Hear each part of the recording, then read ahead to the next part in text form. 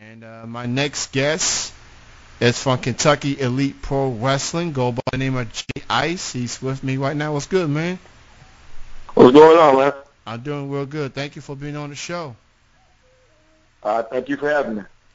I've been hearing a whole lot about Kentucky Elite Pro Wrestling. Definitely uh, a company to keep an eye on, making huge, um, huge pro- pro- progress and process. Um, and uh, I've seen you guys um, at least once so far. It was at Lexington at a ballpark. Uh, it was for uh, for a, a softball team, I believe it was. Yeah, Um, so talk talk a little bit about Kentucky Elite Pro Wrestling. How did it came about, and how does it feel, you know, for a guy like yourself to be a part of the roster? Uh, it feels real good just to be able to step back in the ring. it's, it feels real good. Uh, it all started with Bobby Doss. Uh, he asked a couple guys if he could get it going to help him out. And he came to us and said, here's what he's going to do, and here's where we stand at. We, uh, we're doing good things at KEPW. Uh, our next show is July 30th. Uh, of course, uh, he's got some help, some good help from Scott Diamond, and uh, we're looking to do more and more places every month. And I see you guys are doing shows mostly at Frankfort. Y'all also have done shows in other areas in Kentucky, in Lexington and Nicholasville, um, but and Urban, and uh, and you know so forth. Uh, and what makes KEPW very cool is the talent that they have, and uh, I think y'all the only wrestling company in Kentucky that I know of that has a theme song. Uh, many companies in Kentucky can say that, and the artist that performs the theme song is one of my good friends, Hybrid the rapper, a Frankfort native. Uh, no, Right. no problem. It's the name of the song. He also he also shot a music video for it, which featured appearances from the wrestlers like yourself. Um, correct? so what's what's it like to have a guy like Hybrid the rapper uh, to Uh, to be involved in KEPW? Uh, that makes everything so more exciting. Uh, of course, I come out to one of his older songs. I come out to Fight Song, and that's one of his uh, older songs. Chris also, Hybrid the rapper, also sung that. Uh, but it's something to get you hyped. It's a it's a hype song, no doubt about it. Uh, I think uh, Bobby's the one who asked him to do that, and he was he was ready to come on board. He uh, he didn't have no problem with it. Of course, the song's called "No Problem," but he was all in for he was all in with us. that's very cool. Uh, and for those who haven't seen the music video for No Problem, you can check it out on YouTube. Um, Hybrid the rapper is a talented hip hop artist. He represents that real hip hop, I believe, and uh, he's got a new album called The Awesome Adventure that's coming out later this year. And if you haven't heard the song "I'm gonna need that hoodie back," I'm gonna need y'all to get that Yeah. song. I'm gonna need y'all to get that song a listen. Uh, dude, Yeah, everybody, everybody, everybody go check that out. Everybody go check him out. yeah, he It's Hybrid the rapper. and uh, you know he's got the original version and he's got the remix. So you know whichever is your out. Um, now for you, J-Ice, uh, what made you decide to become a wrestler? Excuse me. Uh, what made you decide to become a wrestler? Uh, that actually started a long time ago. I knew I I loved watching wrestling from when I was a little kid. Uh, watching uh, Jerry Lawler, Bill Dundee, uh, the Fargos, Sting, Ric Flair, and all of them. Uh, but uh, my dad and my uncle, they started training back in 1992, and a guy just recently passed away, Dale TNT Man. Uh, he was the one that actually trained them and I went to every training when I was 11 years old, and I watched them getting trained, and they started wrestling in '93, and uh, they started a bad company. So when I was 15 years old, I walked out with them, and that was 22 years ago. And from there, I, my first match was 17 years old. I was 17 years old. Uh, my first match was against uh, a guy named Rowdy Red from Georgetown, Kentucky. And uh, from then, I've loved wrestling all my life. Uh, it's uh, it's a joy just to come out, just to walk out and see all them kids chant your name.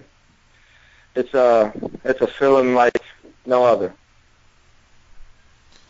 So, um, a few days ago, I've heard so much.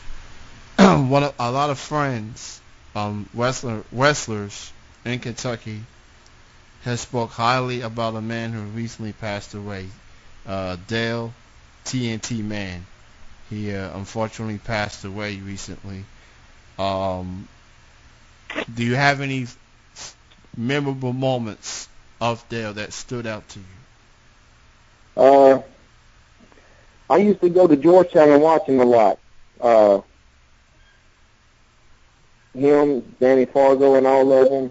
Uh, he was a great wrestler.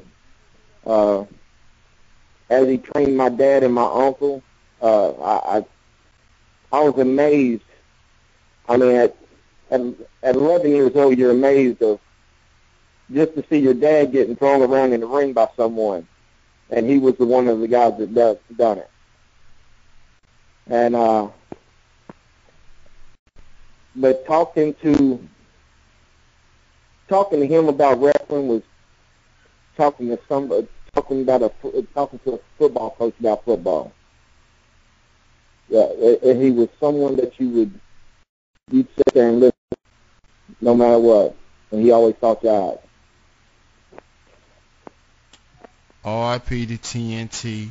Um, I never had a chance to see him or meet him um, but after all that I've heard about him and how he's meant to the wrestlers that he has worked with, the companies that he was a part of, and the fans that have loved him, you know, yeah, he was he was he was one of them type of guys that uh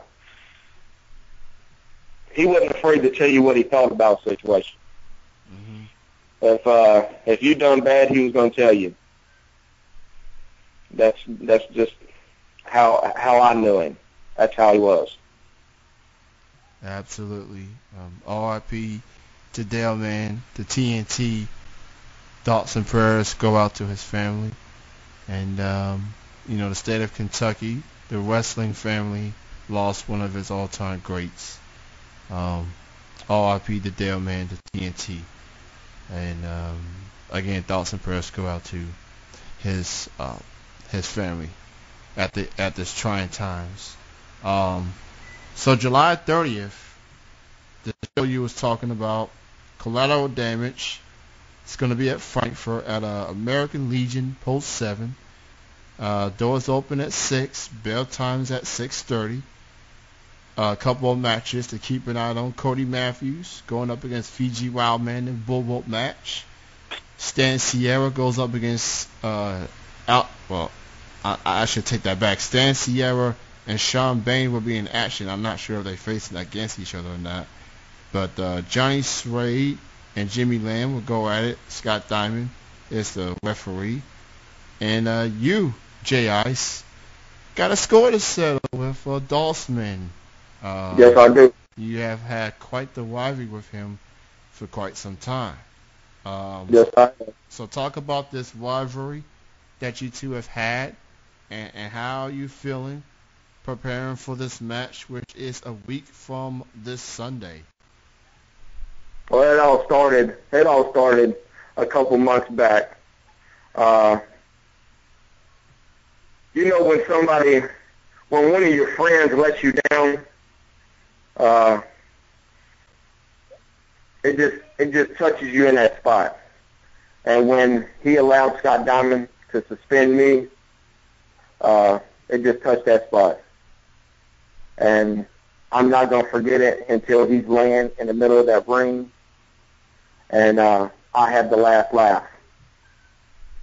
This the, on July 30th, it's to be a lumberjack strap match, and any any time that I can, I'm throw him outside that ring.